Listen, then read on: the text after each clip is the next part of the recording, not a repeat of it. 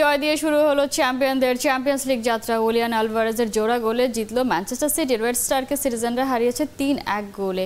Home ম্যাচে চেনা ছন্দ ধরে রেখেছে পেপ দল, তবে প্রথমার্ধে শেষ দিকে গোল হজম করে বসে সিটিজেনরা। বিরতির পর আলভারেজের গোলে সমতায় ফেরে ম্যানচেস্টার সিটি ম্যাচের ষাট মিনিটে ব্যবধান দ্বিগুণ করেন এই আর্জেন্টাইন তারকা। সিটিজেনদের হয়ে শেষ গোলটি করেন রোদ্রে। তিয়াত্তর মিনিটে ফিলফোর্ডেনের অ্যাসিস্টে স্কোর শিটে নাম তোলেন স্প্যানিশ মিডফিল্ডার